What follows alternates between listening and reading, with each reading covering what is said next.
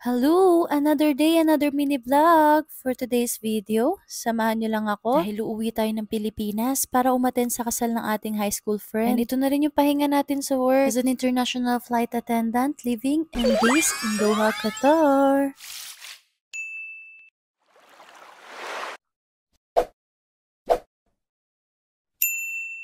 Yung time na to, papunta na pala ako sa gate nito kasi hinabol ko talaga yung flight bago mag-close counter. Galing din ako sa flight from Berlin, Germany. Kaya yan yung itsura ko. Dating ko sa bahay, diretso talaga ako bihis at alis talaga papuntang airport. Hindi na nga ako nakapag-video, kaya ayan, dito na tayo sa Pilipinas. Una nga pala akong lumabas kay Love, hindi pa siya dumarating. Kasi nga siya ni lagi nagsusundo sa akin. Ayan, nag-withdraw muna at ako. Ayan, nakita niya na nga ako. Medyo inis pa ako niyan kasi nga late siya. Kumain na muna kami sa Jollibee bago kami umuwi. After nga namin kumain, nag-book na rin kami ng Grab. Ayan, nandito na rin kami sa loob. Kung nagtataka kayo, bakit wala pa yung sasakyan namin dito? Actually, after 2 days pa yung release talaga nung car pagdating ko dito sa Manila.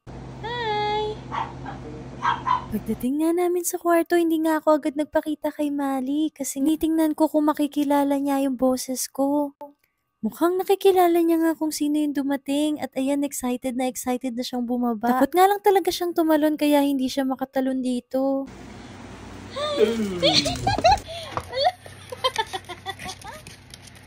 Hello, miss na miss si Mommy. Kiss Mommy, kiss Mommy, kiss Mommy. Come here. Kiss Mommy. Ayun nga, sobrang miss na miss talaga ako ni Mali. Alam niyo ba, pag excited yan si Mali, napapatai yan bigla. Buti na lang yung tae niya, hindi basa. Hindi yung mga buo-buo talaga. After one month lang pala talaga ako nawala nito, pero grabe yung miss niya sa akin. Makikita mo naman talaga sa mukha niya, sobrang saya niya nung nakita niya ako. After nga niyan, umalis na muna kami para magawin yung mga agenda namin, para bukas, konti na lang yung gagawin namin. By the way, magpapa-facial pala kami nito. Napansin ko after ko magpa-rhinoplasty, ang dami kong whiteheads at blackheads sa ilong. Ayan, naligo muna pala ako bago pumunta dito kasi nga after namin dito magpapamassage na kami. Ito nga pala yung face ko bago magpa-facial. Siyempre, una nilang ginawa, cleanse muna nila. Ayan. After nga ng cleansing, nilagyan naman nila ako ng cream niya. And minassage na nga nila yung nilagay nilang cream sa akin. Bago nga pala ako magpa-facial, sinabi ko nagawa yung ilong ko. Para pag nag-preking, alam nila kung paano yung gagawin. Hindi nila masyadong lalagyan ng force. After nga ng preking, ayan na yung face natin. Ayan, ang daming pula-pula kasi yan na yung mga pimples. Blackheads, whiteheads. Nilagyan na nga ulit nila ng cream dito. And ayan, cleanse na ulit nila. Hindi ko alam yung tawag dito pero parang siyang laser. Ito na nga yung final result. Ayan, ang glowing and fresh na nat. Panira lang talaga yung pimples ko sa kilay. Kinabukasan nga nagkaroon kami ng biglaang lakad. Biglaang yaya ba? Papunta nga pala kami nito sa Angono Rizal. Syempre hindi naman namin pwedeng iwan ng baby Mali namin kaya sinasama namin siya every lakad namin. Dahil nga biglaang lakad, ayan, ang cast helmet muna yung ginamit namin. Actually kasama din nila yung dalawa nilang anak, si Maka at si Nata, sila Ma'am Shayi at Yung mga fur babies talaga namin yung ginala namin ng time na Dito to. nga pala kami pumunta sa Campo de Angono. Dito yan sa Rizal. Pagdating nga namin dito is nabutan namin sunset. Ganda nga ng view. Kasi nga nasa mataas talaga tayong lugar. Ayan, nakarating na rin kami dito. Dito nga pala kami pumunta kasi nga naghanap talaga kami ng lugar na pwede yung mga fur babies namin. Ayan, tingnan mo naman si Mali. Takbo na naman ang takbo. Dinala pala namin tong first stroller niya kasi nga gusto namin itry. Ilalagay ko na lang yung link nito sa bio ko at sa ating yellow basket. Ilagay na nga ni Love si Mali niyan para matry na nga. At ayan, napapasok na nga kami neto dito sa Acampo de Angono. Pasok mo nga eh, sobrang pet friendly talaga kasi may mga statwa sila ng mga dog. Binuhat nga nila Love yung stroller ni Mali kasi nga merong 3-step hagdan. At ito nga yung bubungad sa'yo. Dito kami magdi-dinner ngayon. Grabe, ang ganda talaga ng sunset. Grabe yung view dito. Sobrang ganda. Pwede pala kayo mag-staycation dito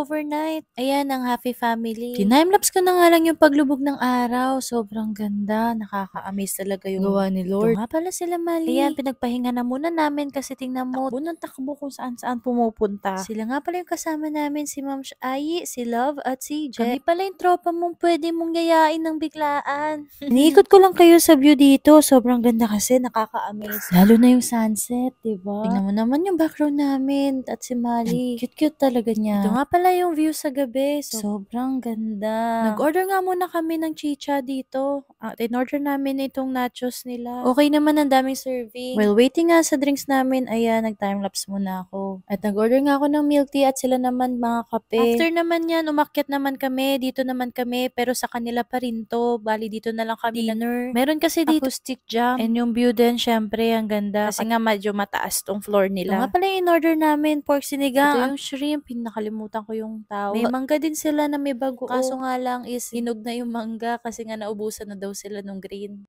After nga namin kumain, naglakad-lakad muna kami niyan para bumaba yung mga kinain namin. At ang ganda nga ng view dito. Ito na nga yung third day namin at ito na nga yung kasal ng aking high school friend, si Pox Jocelyn. Ang ganda-ganda niya nga dito. Naiiyak nga ako ng time na to kasi nga sobrang ganda niya. Kakasal na nga talaga siya sa wakas. Sa dami-dami ng pinagdaanan niya. Sobrang saya ko para sa kanya at sobrang ganda niya talaga. Ikaw naman, Jocelyn, ikaw ba'y kusang loob na naparito upang tanggapin si Neil Kasama ko nga pala dito si Love. Tingnan mo, naantok na. Wala pa kasi kami masyadong tulog nung time At sa na Bulacan to. pa nga to ginanap. CR nga pala ako na tong time na to. At nagandahan lang ako. Si ang cozy ng CR nila. You may now kiss your wife.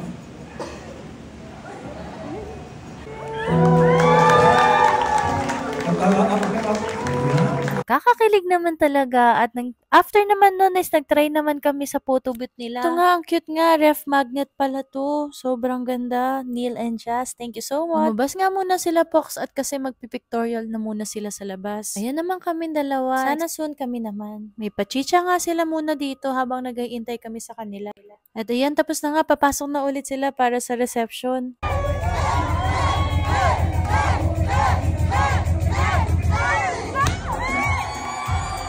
Ito naman yung part na magsasabit na kami ng money.